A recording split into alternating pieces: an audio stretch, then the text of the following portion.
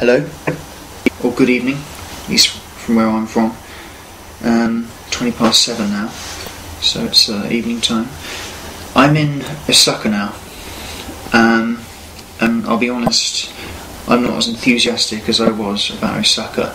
It just seems like a, a dirty, dingy, horrible old city with nothing really to love about it. I mean, you can have a dirty old city, but, you know, often they redeem themselves by having character or or something along those lines. Just riding on the bullet train, seeing Osaka by, you just see buildings, skyscrapers, and chimneys, billows of smoke coming out, and it just looked horrible.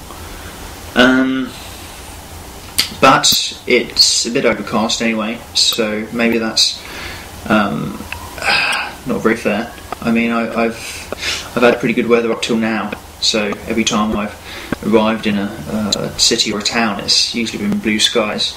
This is the first time it's a little grey, so um, I'll give them the benefit of the of the grey at the moment. Osaka. Um, tomorrow, what am I doing? I think I'm going to go to a museum or something. Um, I'm taking it as it comes, pretty much. Uh, there's a museum I, I, I do want to go to. There's um, I think there's a couple of temples around as well. But it's uh, it's difficult to be enthusiastic and motivated about this place now. I just hope it's a nice day tomorrow, and then um, and then we'll see we'll see how it goes. Um, I, have just arrived from Himeji, um, and I love that. That was brilliant. I really enjoyed that. Um, the only thing was really there. There wasn't a ton amount to do after I'd seen the castle. I think there's a couple of other bits and pieces that take time. But um, other than that, there's, there's not much to do. By the time I'd, I'd been to the castle, and I'd walked around and I'd seen that. I'd made videos of it, which I'll, I'll upload soon. Uh, but by the time I'd had a look around, you know, it was getting on for late afternoon. I thought um, I, have got to kind of get a move on now and get to Osaka. And one more thing I forgot: um, my bag.